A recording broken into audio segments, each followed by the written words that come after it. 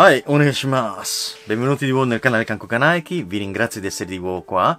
Sono molto contento che il canale stia andando molto bene, manca pochissimo ai 3000. Alla data di oggi mancano quasi 100 persone a raggiungere la bellissima eh, numero, non cifra, numero di amici iscritti al canale che sono i 3000. Sono molto molto contento, molto molto contento e te tutto merito vostro perché ovviamente siete voi ad aiutarmi ad aiutarci a migliorare sempre di più. E non so come ringraziarvi del fatto che proprio il vostro supporto io continuo a leggere cose bellissime uh, scritti bellissimi che mi arricchiscono. E arricchiscono anche gli altri perché l'interazione tra me e chi mi scrive o l'interazione tra di voi permette anche a chi viene si avvicina al canale e quindi vi invito a leggere i commenti che eh, le persone mettono, gli amici mettono sotto, non, ci permettono di migliorarci, di essere sempre, eh, sempre al top come argomento e di crescere in modo non soltanto biunivoco o bilaterale, ma universalmente ed è bellissimo. Questa è veramente una, una, bella, bella soddisfazione perché era questo tipo di canale che io e Susi Sensei volevamo creare, ok? Perciò grazie di cuore. Detto questo, iscrivetevi al canale, cioè ci state aiutando. Cerchiamo di raggiungere i 3000 il più velocemente possibile, nel giusto modo, eh. Però cerchiamo di raggiungerlo perché effettivamente a me piacciono le cifre tonde, non, non posso negarlo. E 3000 uh, qua più si, avvicina, più si vede la meta e più il desiderio è alto. Sono anche un essere umano. E quindi aiutateci iscrivendovi e, e, e grazie ancora. Detto questo, allora, eh, avete, avrete constatato che sto cercando di organizzare la, il video, a porli tre, a mettervi tre video online alla, durante la settimana. Questo per dirvi che non vi abbandono, io e Susi non vi abbandoneremo mai, il canale eh, proseguirò a fare video. Tre sicuramente ve li assicuro, che sarebbe la tecnica lunedì, il mercoledì eh, per quanto concerne gli stratagemmi voglio, o la parte culturale che voglio fare e il venerdì sarà il, il vlog dove parlo di storie di, delle, delle, arti marziali, dei, di varie vicende mie, quello che volete voi. Ovviamente tempo permettendo perché dal come sapete dal, da ieri 18 maggio abbiamo più possibilità di muoverci quindi abbiamo dopo 70 giorni circa in cui siamo stati in quarantena anch'io e Susi Sensei abbiamo molte cose da fare molte cose da svolgere molte, dobbiamo riaprire le nostre attività eccetera eccetera. Quindi ovviamente eh, vi sarà meno tempo anche per voi anche per voi di seguire video molto lunghi Ovviamente io non metto freno alla lunghezza dei video perché fa parte del, del mio modo di pormi, perché io sono dell'avviso che per tanto tempo, soprattutto durante questo periodo di quarantena, ci, vi sia stata necessità uh, di dare cultura e dare tanto alle persone che magari si sentivano molto sole perché magari isolate, perché ovviamente chi uh, vive e ha vissuto di dojo e vivrà di dojo, di dojo, kwon, quello che è otojan, a seconda dei nomi che utilizziamo. Ovviamente eh, la mancanza, la mancanza di, della pratica può, poteva e può farsi sentire molto dentro il nostro, la nostra determinazione a superare il periodo di difficoltà, ok? È per questo motivo che ho fatto i video lunghi affinché voi poteste e io potessi aiutarvi a non vivere la noia, bensì parlare di qualcosa di interessante. E la fortuna vuole che sono stato una persona, sono una di quelle poche persone che ha vissuto in Giappone, ha vissuto in Corea, ha fatto... sono storico, quindi tra una cosa e l'altra questo aiuta moltissimo oh, a portarvi qualcosa nelle vostre case. E poi aggiungiamo, oh, molto del materiale migliore che si trova in giro è in inglese, molti dei video migliori che si trovano in giro riguardanti non solo la cultura ma anche la tecnica si trovano in inglese perché mh, mm, la voglia degli americani o di chi parla l'inglese di poter condividere è molto antecedente a quello che adesso si sta scoprendo in Italia, quindi mentre in Italia la maggior parte del, dei canali YouTube sono dedicati ad altro, a un certo tipo di intrattenimento, quel tipo di uh, cultura marziale o che può essere del Budo, del Wushu o delle arti marziali coreani, del Musul coreano, in America era già sviluppato. Poi, è un dato di fatto, ci sono molti maestri qui in Italia con grandissima cultura, però mh, mm, per motivi mh, mm, di pecunia, eh, cercano di darlo col contagocce. Uh, io, come vedete, i video sono gratis. Voi l'unica cosa che pagate è l'elettricità e il vostro tempo per stare a seguire un video lungo.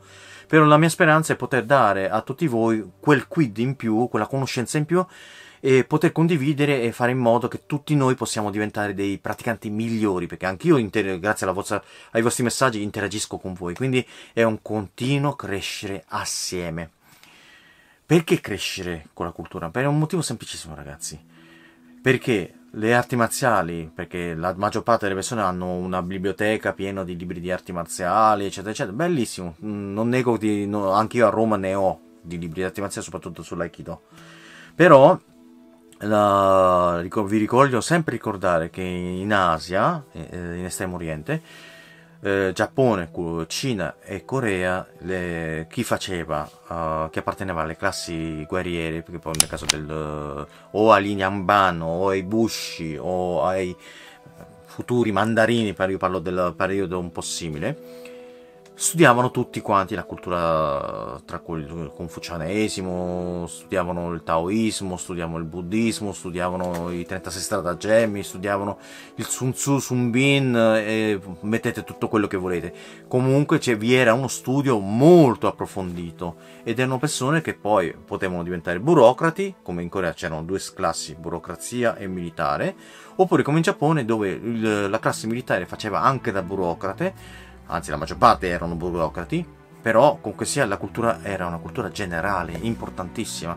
E vi consiglio di guardare il film Twilight Samurai per darvi un'idea, dove anche una bambina alla fine del, uh, del periodo Edo, perciò siamo vicino al Bakumatsu, eh, 1860 in poi, comunque sia il film è di quel periodo là, alla fine di un'era, il padre, eh, perciò Stasagore Seibei, che è il protagonista, dice alla figlia una donna deve cominciare a studiare, cosa che normalmente solo i maschi erano chiamati a fare.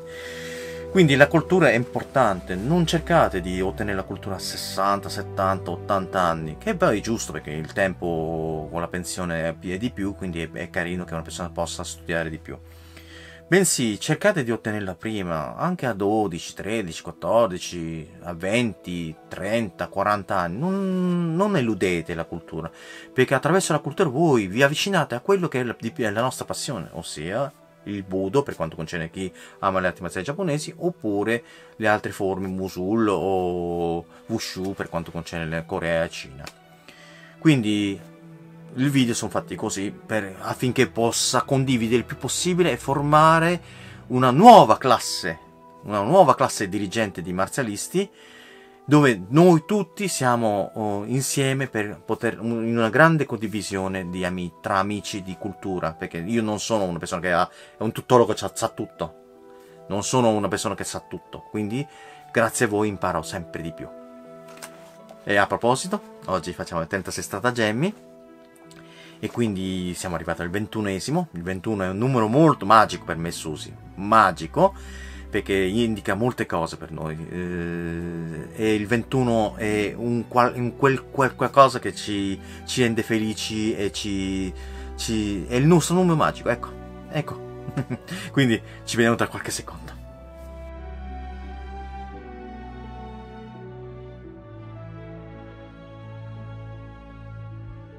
Ai, onegashimasu. È un piacere avervi qua. Dopo la lunga premessa, eh, parliamo di stratagemmi.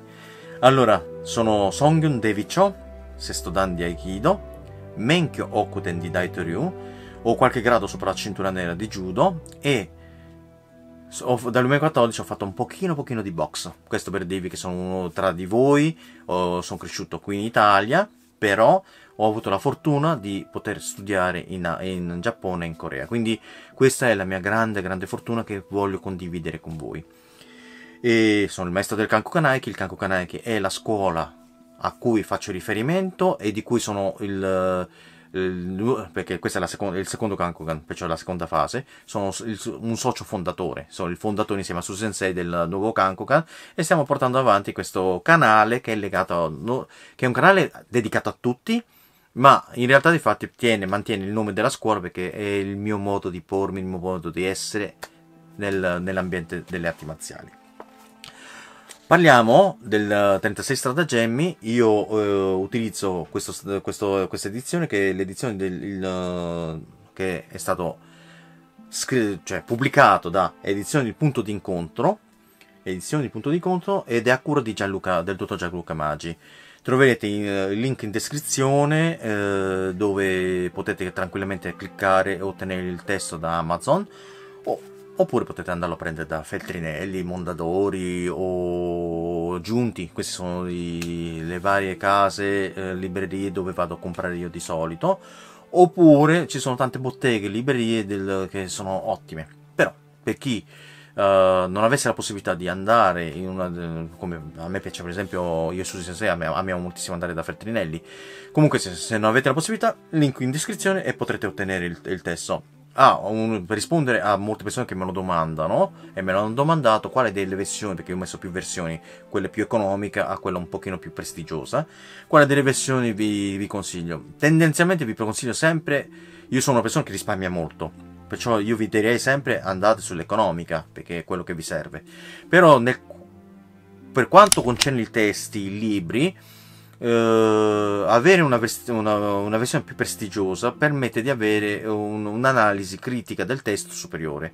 Perché ovviamente il 36 stratagemmi io vi racconto la mia analisi da parte di come marzialista, budoka, storico, vivo questa, questo stratagemma e vi cerco di spiegare a parole mie com'è. Però anche in questo piccolo uh, libro, quello più economico, uh, ogni stratagemma viene spiegato con una parte storica molto molto interessante da cui nasce lo stratagemma, quindi vi consiglio altamente di, di prenderlo se volete avere una, un'edizione tascabile a portare via in giro, come ho fatto io portandolo anche in Giappone, vi consiglio uh, la versione più economica, mentre invece la versione più prestigiosa e per chi vuole tenerlo a casa è avere più informazione, che è sempre, sempre un bene, ok?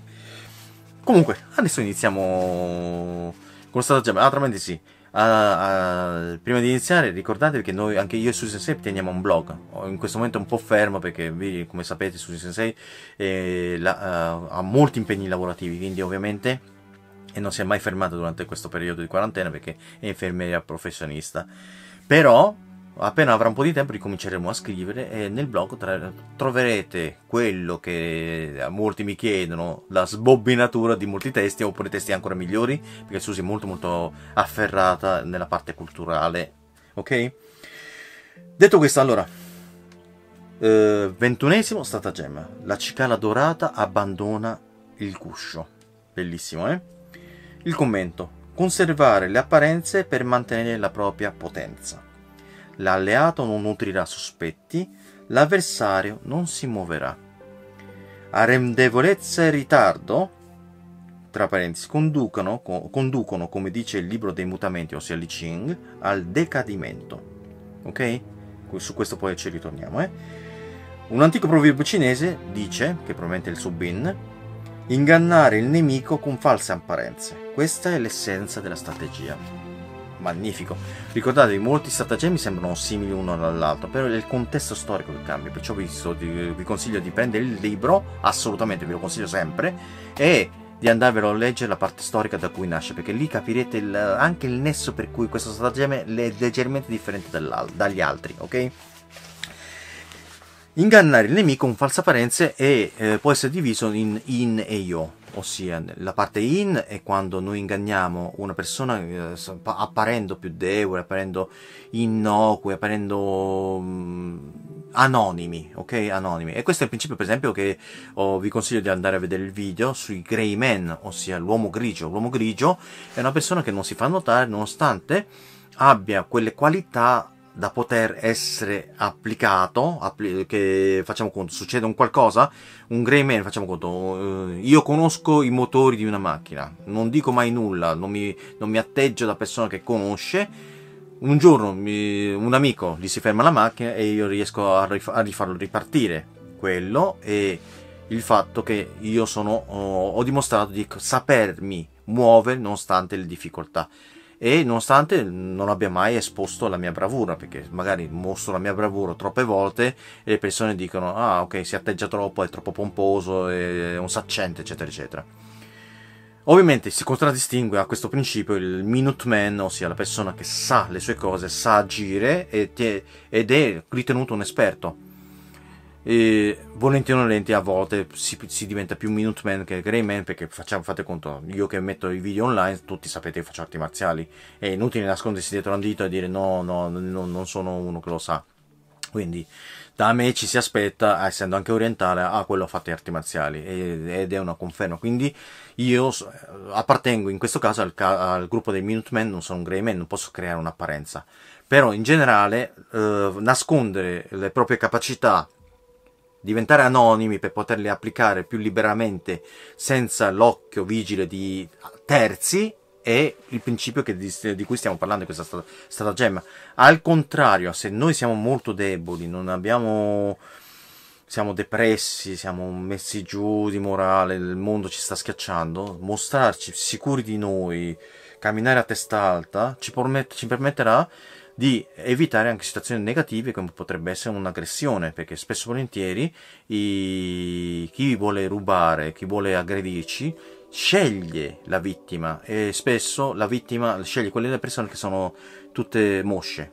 Ovviamente qui dico mosce e non grey man, perché il grey man comunque sia una persona che comunque mh, mm, è anonima, ma non è una persona che sembra debole, è una, una, un anonimo che preferisce rimanere nell'anonimato, non si espone, non, non fa nulla se non chiamato in causa, però sa come muoversi nel momento del bisogno. Quindi chi è abituato ad aggredire la gente sa che il, uno che è anonimo è, è sospettoso, non, non, lo aggredirà mai. Altresì chi invece è veramente molto molto giù verrà sempre preso di mira imparare a, a mantenere un contegno è importantissimo. E qui il discorso, l'abito fa il monaco. Purtroppo l'abito fa il monaco, anche se è un termine brutto da dirsi. L'abito fa il monaco perché come ti poni, come ti vesti, le persone ti giudicheranno. E perciò, come ti vesti, le persone penseranno, ecco, questa persona è una persona in una certa maniera, oppure pensa, magari chi si veste in modo messo male, in modo non, non pulito, è sporco, magari è un miliardario, oppure una persona con una, è un genio, con una grande cultura, e chi invece si veste Chanel, si veste Gucci e compagnia bella, ha una cultura piccolissima ed è un porraccio che l'unica cosa che ha fatto è stato investire in vestiti o nella bella macchina. Può essere tutto. Purtroppo è così. La gente tende a prendere la prima apparenza che incontra. E questo stratagemma insegna di utilizzare questo, questa cosa per ottenere i nostri vantaggi. Perché effettivamente il nemico, che può essere il nemico, ma vedremo anche che qui è bellissimo, eh? dice anche l'alleato non nutrirà sospetti, vuol dire che anche l'alleato può essere un nemico e ve lo dico per mia esperienza diretta, io ho, ho, sicuramente ho tanti nemici perché anche come persona pubblica, ma anche perché il fatto che sono molto ferreo con, mio, col mio, quello che credo. Eh, mia madre stessa diceva di, che dovevo essere più grigio, non man, grigio nel senso che non è sempre bianco e nero. Però io ligio alle regole, ligio alla verità, ligio alla ricerca della verità alla sincerità, eccetera, eccetera, ovviamente sono sempre stato oh, ferreo nelle mie convinzioni, escludendo ogni tipo di diplomazia. Tiene presente che ci sono stati anche degli EPS, antipromozione sportiva, che mi avrebbero dato anche l'ottavo Dan, per quanto ero famoso all'epoca. Non ho accettato, ho preferito rimanere col mio grado, ottenuto faticosamente e in maniera sincera dai miei maestri. Questa è stata la cosa principale da... che non ho fatto. Testimoni miei allievi, non ho accettato di ottenere gradi a destra e a sinistra, cosa che potevo tranquillamente fare perché sono asiatico, ho la cultura tecnica, ho la, poten- la possanza, eccetera, eccetera, ma non era quello il, il discorso. Però, tornando a noi, eh, la, le cose che mi hanno ferito di più sono stati quei pseudo amici che io aiut- ho aiutato palesemente, economicamente ho aiutato, eh, dan- donando a loro il mio tempo, il, donando a loro il, ogni cosa che potevo dare, capito? Non li ho fatti dormire nei migliori alberghi, pagati da me a volte. A volte quando venivano li ho portati in giro, scarrozzato, anche se non guido la macchina attraverso le macchine dei miei allievi a destra e a sinistra li ho, li ho portati a mangiare nonostante abitassi così lontano che ritornavo alle 3 di notte per svegliarmi alle 5 per andare all'università a, a fare il bibliotecario oppure a lavorare, a lavorare all'interno del, mm, del prorettorato del, del professor Biagini. Ho fatto tante cose per queste persone è stata eh, la prima occasione per fare branco con, i, eh, con chi mi odia e mi diffama hanno fatto le diffamazioni peggiori, cioè sono stati i personaggi peggiori queste persone che io chiamiamo amici e fratelli. Quindi per tornare a noi il discorso è fondamentale che queste persone possono essere molto molto negative e sembrare più felici di loro, sembrare di avere una vita migliore, sembrare, perché è tutta apparenza, perché ovviamente quello che loro traggono come informazione è quello che vedono online. I social lo sappiamo tutti che sono eh, tipo Instagram, sono è falso, è falso, totalmente falso. Ci sono persone che conosco persone che andavano mm, eh, sembra su Instagram vanno sempre per locali, prima del, della quarantena ovviamente, andassero per locali, bevessero sempre. Io li, ho, li conosco da tanti anni, so che molti di loro uh, si avvicinano ai tavoli dove sono, stato un, è stato consumato un qualcosa, si avvicinano e si fanno la foto come se avessero consumato il cocktail, la pericena, capite? È tutto molto fittizio perché eh, è questo, la, è come quelle persone che fanno una foto e mostrano la foto, cercano la foto che vogliono mostrare. Molte donne lo fanno, molti uomini lo fanno. Dicono: oh, A me questa foto non mi piace perché sembro troppo grasso. A me non piace. Anch'io. Io non, non facevo mai foto perché ero, ero molto grasso e non mi piaceva fare le foto. E chi mi dice, oh perché non hai foto, le tue foto? Io non fa, non fa, sarà quasi un ventennio che non faccio foto su di me. Perché non mi piaceva essere grasso ed è difficile convivere con qua, quando qualcosa non ti piace. Idem con patate quando le persone scelgono le foto, scelgono le foto dove appaiono più belli, gli piace apparire nel miglior modo possibile, nel presentarsi al mondo nel miglior modo possibile.